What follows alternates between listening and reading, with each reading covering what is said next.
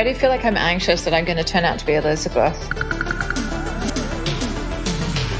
What food is in your survival pack? I've already pressed peaches by mistake. I'm gonna forego the canned goods and say wine. I'm going to go for peaches.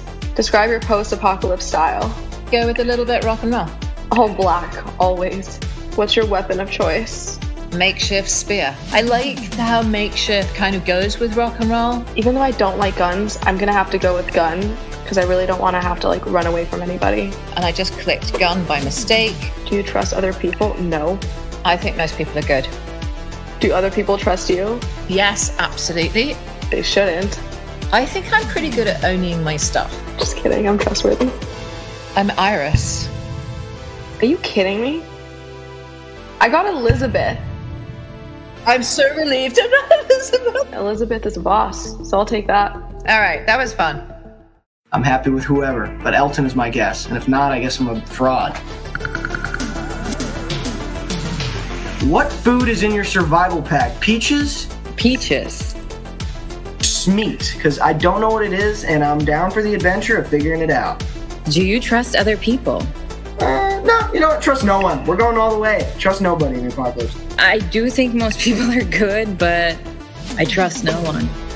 Where are you setting up camp? A treehouse, because it's super fun. Campus colony? That's the safest place to be in an apocalypse, I think. You can drop a bowling ball from a treehouse. And who did I get? I got Huck. Look at me. Oh!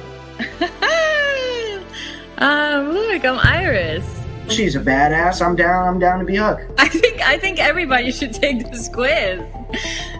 Which The Walking Dead World Beyond character are you? That's what I'm about to find out. This will be fun. What's your post apocalyptic hobby of choice? Home brewing. I feel like I'd get around to doing that. Homebrewing. Homebrewing. I'm gonna go with something.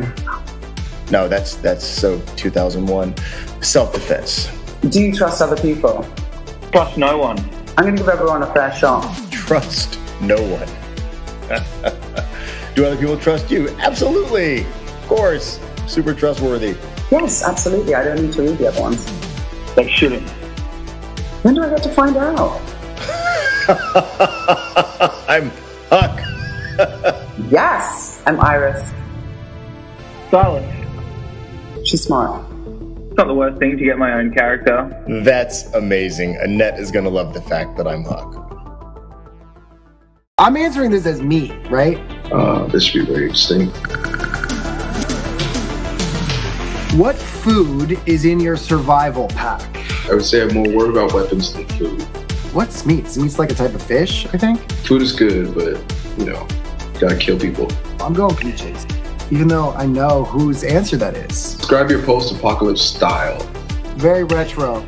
Oh, I definitely love a good pair of shades. What is your weapon of choice? Gun, absolutely.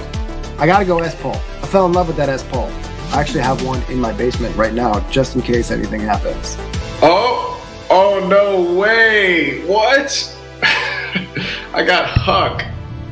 My results is Iris, the one and only.